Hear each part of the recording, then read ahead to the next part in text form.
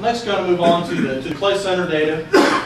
And uh, there were Brangus in, in, uh, used in a little bit of, of cycles three, which would go back cycle in 2001 to think our cattle populations. From center breed comparisons that they've used Hereford and Angus as sort of a benchmark throughout the study. And every cycle has had Hereford sires and every cycle has had Angus sires.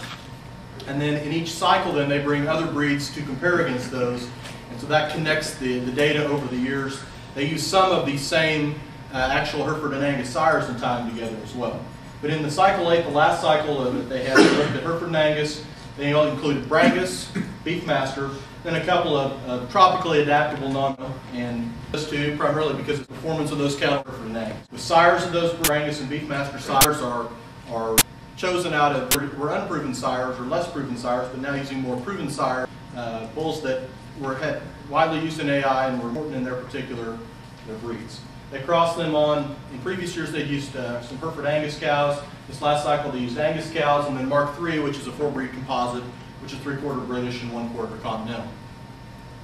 They collected, uh, you know, one of the things about the Clay Center study is there's lots of data. They've got at least 100 steers per sire group, I think 110 to 120. So they've got large numbers and large populations.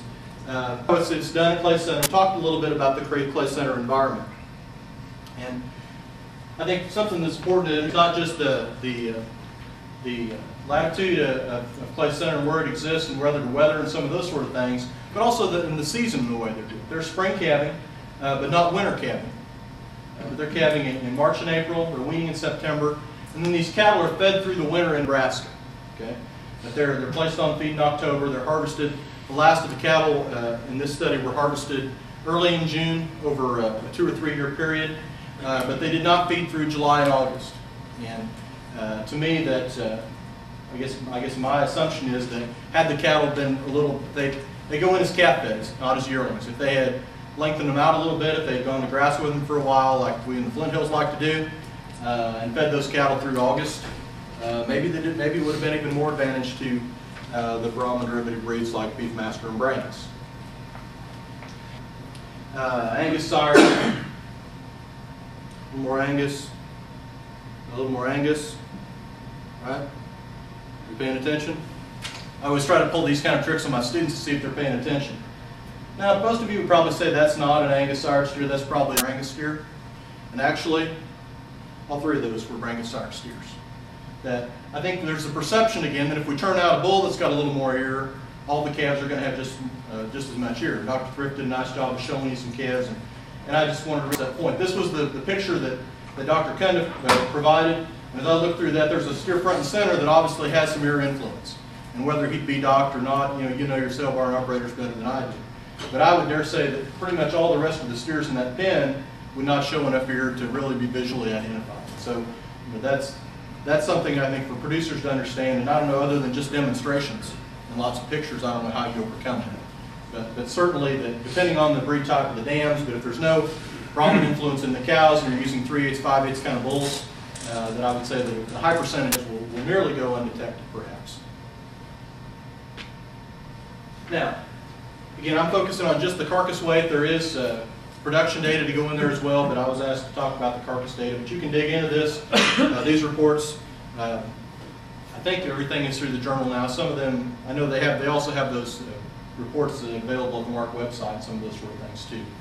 Uh, I usually start with those because they're all in pounds and not kilograms. Uh, but you can see here the harvest weight, for example, there were some significant differences uh, with the Beefmasters being the heaviest, Angus coming in there, and then some, some distance back, some significant difference. Beefmaster was significantly heavier uh, than either Hereford or Brangus, with Angus somewhat intermediate.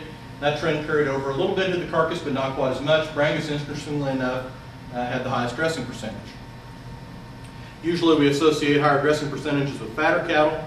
Uh, I'll skip forward to just show you that, but that's not necessarily the case. And here that actually the Brangus cattle uh, were significantly better for yield grade than Hereford, or excuse me, than, than, uh, than Angus, and also uh, better than, than Beefmaster. Overlapped a little bit with the Herefords, but uh, for the Brangus cattle dressing so well and having a higher dressing percentage, I don't have a full explanation for that in terms of why they would dress so well even though they were leaner.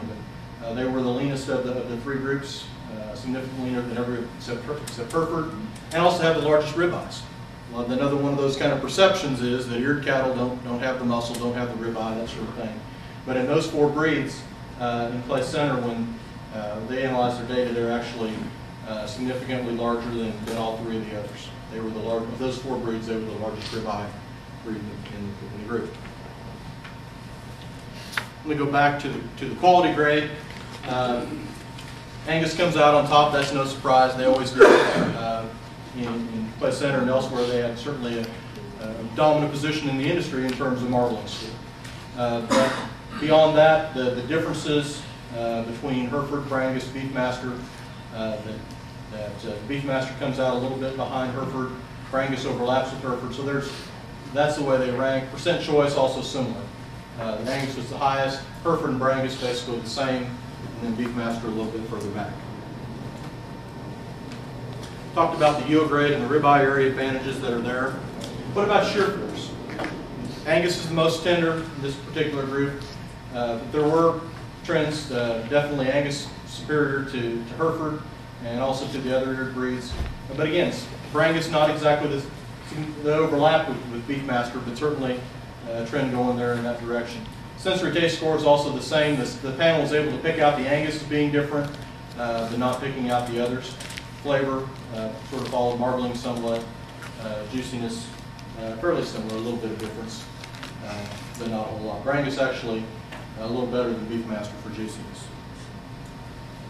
Now, I tried to, one of the problems with, with looking at, the Clay Center cycle is that you've got a, fixed group of breeds that you're comparing, and we'd like to tie it across, all across. And, and so what I did was take the cycle 7 and the cycle 8 and put those together and sort of set Hereford and Angus as the benchmark and then derive the other breeds from them. And so this is the shear force deviation from the average of, of Angus Hereford uh, with some common sires. Not a perfect analysis, they're actually now releasing the crossbreed uh, calculations for carcass traits, and you can look at those. Brangus, I believe, is in there, and so you can uh, look at those and see as well, and that would give you pretty similar results uh, if you want to do maybe even more precise breed comparison and see.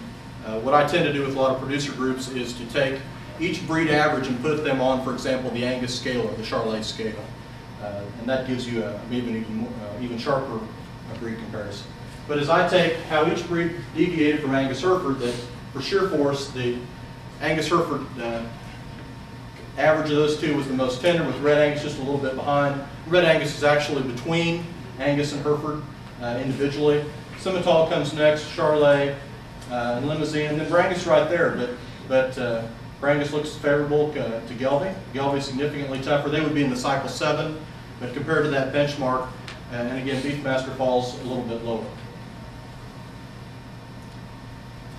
Sort of the same thing that when you see across the cycles and you look how they can deviate from the population average or from the, the baseline, from the Angus Hereford uh, baseline. Red Angus higher than the average of Angus and Hereford, not quite as high as Black Angus, but higher than Hereford. But Brangus falls right in there, right in there between Simmental and Charolais, very similar, both in terms of marbling score and in terms of, of percent choice, with Beefmaster being a little further down than some of the others. So, you know, it would be nice to have uh, Brangus head-to-head with some of those other Continentals, but I think the sort of the take-home message is that, that how they compare in their cycles pretty similar, and when you do the crossbreed calculations, really Brangus is not much different than a lot of the Continental breeds that we see out there in terms of their carcass quality and in their shear force. Uh, appear generally to be favorable to Beefmaster in, in the comparison that we have there. So I, in my summary of, of that data and, and GPE 7 and 8 is that very similar to continental breeds for shear force marbling percent choice. And, you know, I, I, think about, again, those steers being harvested June at the last. What if we fed those cattle through the summer? What if we fed them in Texas? Uh, that, you know, we, we see papers coming out talking about stress and stress on marbling and those sort of things. And, and, and I think we all realize those are real. And, and so certainly that if we'd have fed those cattle through the summer as yearlings in Texas, it would have been interesting at least to see how those might have come up. And, and to see if that adaptability that, that's no doubt there is a cow, wouldn't that carry on into the steers as well.